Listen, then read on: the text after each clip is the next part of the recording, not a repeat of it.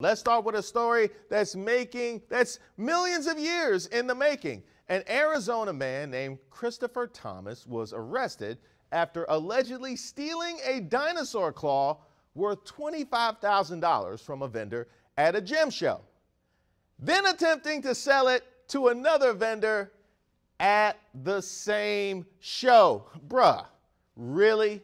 That's what you choose to steal at a gem show? He couldn't find another gem show to sell the claw at? You know the gem and dinosaur fossil community has to be a small one. It's like uh, Indiana Jones, uh, Nicolas Cage and National Treasure, Ross from Friends, Jeff Goldblum from Jurassic Park, and the old guy in the dirty fur coat from outside 7 Eleven. Those are the gem show guys. That is literally the whole community. And he looks like the kind of dude that would steal a fossil and then use it for a used Xbox. I, I, I, have, I absolutely believe that was the case until you prove otherwise. Now, I hate profiling. But if I was a vendor at that show and saw this guy walking up, I'd be like, hey, hey, lock up the dinosaur claws. Nah, nah, nah, I don't trust that one. Matter of fact, we got that uh, bulletproof glass that they use at the curry out. Yeah, we're gonna need those at the gym show now if he gonna be walking around. Now he's the one locked up, mainly because he's terrible at crime. I chose this next story because it's adorable and inspiring. And that's what we need right now. A group of fourth graders in Vacaville, Florida, led by nine year old Jordan Reed, staged a successful protest to get chocolate milk reintroduced to their school's menu. Shoulder to shoulder. When do you want it? Now! Step by step, students left class to rally out front. Shut it down! Where everyone could hear their voices being heard.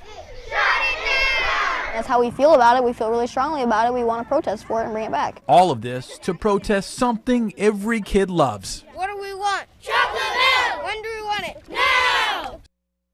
No lactose, no peace. No lactose, no peace. By the way, my apologies to California. This happened in Vacaville, California. Of course, nothing this productive went down in Florida. But this is my kind of activism. These kids will not be denied. We would live in a utopia if all protests were this cute. Now, of all the things they could have marched for, chocolate milk was a fantastic choice because longer recess, that would have been way harder to get. They recognized that chocolate milk was an attainable goal, and now they have it. These are the activists of the future. Or they could choose the path of the dark side and become senators. Now, I know I would have never thought that organizing a protest could actually work when I was just in the fourth grade. That's usually a college level strategy. So, of course, shout out to the students at Howard University.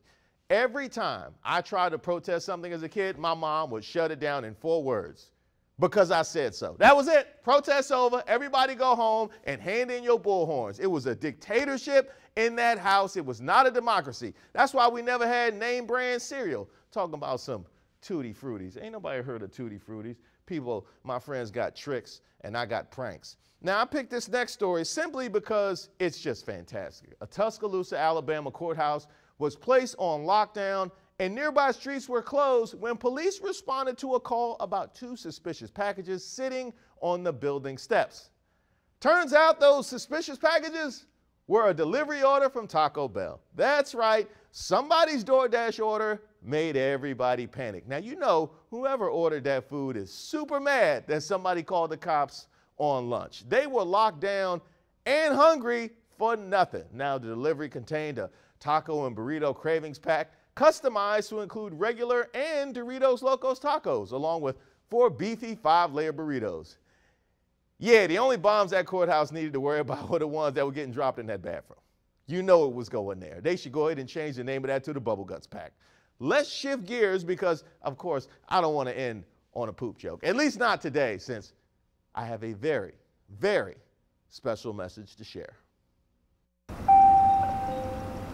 And it's now time for an open mic public service announcement for all the singles out there. Yesterday was a rough one, wasn't it? It being Valentine's Day and you being uncoupled. Love was in the air, just not for you. And at every turn, you were faced with a reminder of what you're missing out on. The couple on the metro next to you holding a bouquet of balloons, the flowers delivered to that girl in the office who swiped your lunch out of the break room fridge. Even that lasagna larcenist has love in her life. Even Peruvian dogs got married yesterday. Really, that happened.